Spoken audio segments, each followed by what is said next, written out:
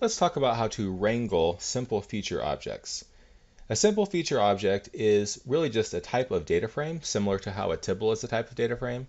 And both of those and both of those classes extend the data.frame class.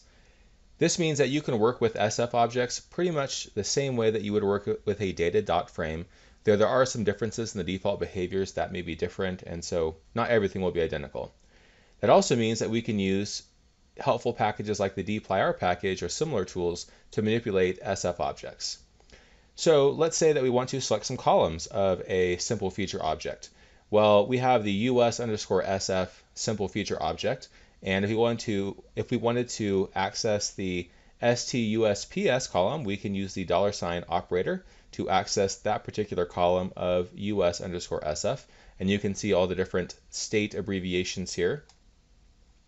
That same column is the fifth column of the data frame of the SF object. So we can use the square bracket notation where we leave the row position blank and then we put 5 for the fifth column. And that results in us extracting, or really I should say subsetting that object. So notice here that we have the STUSPS column here, but then we retain the geometry objects which we didn't before. And so while this actually extracts this particular column from the US underscore SF object, this simply subsets the US underscore SF object. So basically what it does is it retains the fifth column and then any of the spatial features of the SF object.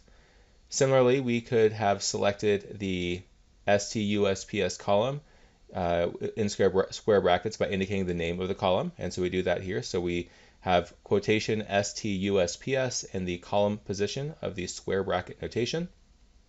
And once again, this subsets the US underscore SF object. We get the STUSPS column as well as all of the associated geometry. We get the geometry list column as well. Uh, you may have noticed before previously that if you want to access a column of data frame, you actually don't even need to specify the row argument. You can just directly indicate the column you want.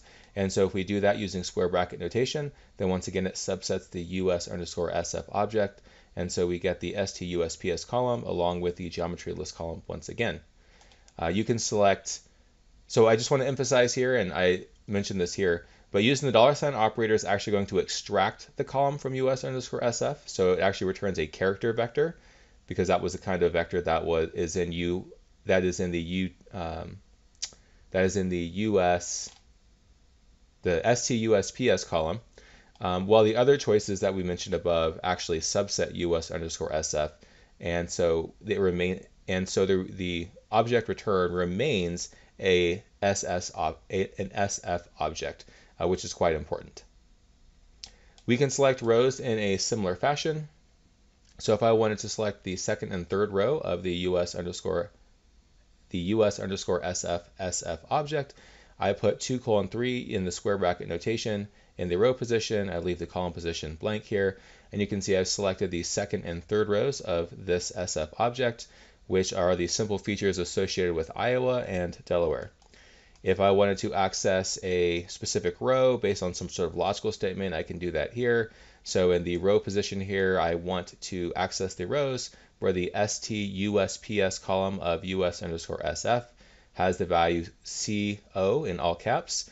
And that's just going to be the single row associated with Colorado. You can use more complicated functions like the starts with function. This is actually a base R function. It's not to be confused with start underscore with, start underscore with, which is the dplyr function for uh, selecting columns of a data frame. This is actually a, a, function associated with character strings, identifying character strings that start with uh, certain characters. And so in this case, we want to find all of the all of the values or all the indices of STUSPS that start with the letter C, which is going to be California, Connecticut, and Colorado. And so we put this logical statement in the row argument of the square bracket notation, and we get those three simple feature objects uh, subset from the larger object. Because the US underscore SF object is a, a data frame, uh, we can use dplyr functions like the filter function to select rows if we wanted. So in this case, I'm going to pipe the US underscore SF object into the filter function, and I want to select, or I want to filter the rows of US underscore SF that start with C. So this is really doing the same thing that we have right here, but in the slightly fancier dplyr notation. A really cool feature of SF object is that you can actually use a spatial object to select rows. So we're going to extract the Colorado row from US underscore SF. And so I'm going to identify the row of USF, US underscore SF, where the name variable equals Colorado. So I, this is going to be logical statements. This allows me to select that particular row. I'm going to save it as CO and I look at the class of CO and you can see it's uh, still an SF object. So we've just subsetted the Colorado row from the larger SF object.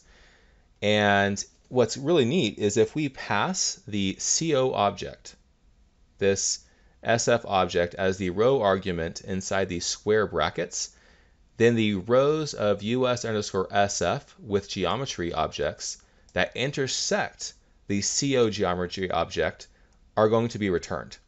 And so what I do here is I actually pass this SS this this SF object to in the row position of US underscore SF, and I'm going to call this CO underscore intersects, and I use open parentheses, close and close parentheses in order to print it in order to print the results to the screen.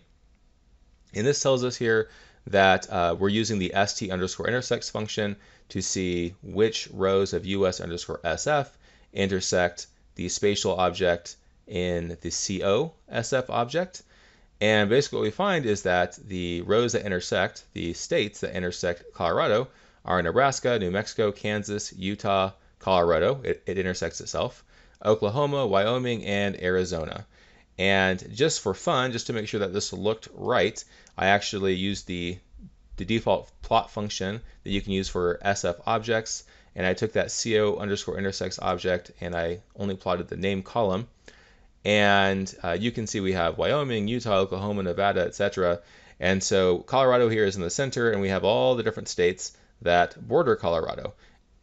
If I didn't want to plot a specific attribute of the CO intersects SF object, I could simply select the geometry list column by using the st underscore geometry function on the co underscore intersects FF, sf object.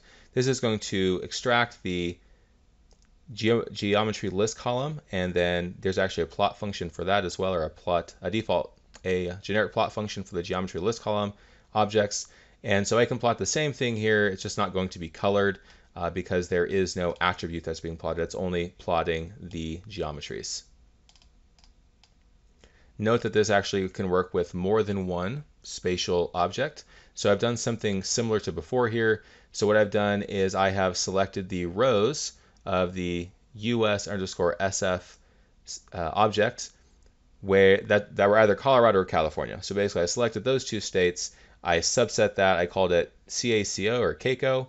And I now construct a CACO underscore intersects object which is the rows of US underscore SF that intersect this spatial object right here, which has the states Colorado and California.